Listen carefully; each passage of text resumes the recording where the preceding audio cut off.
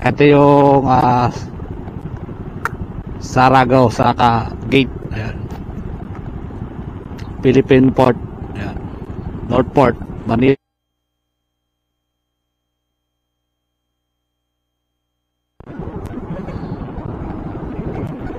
Ayan.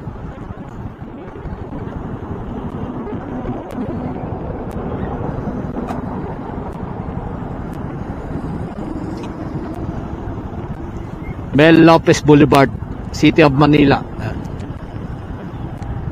Ayan.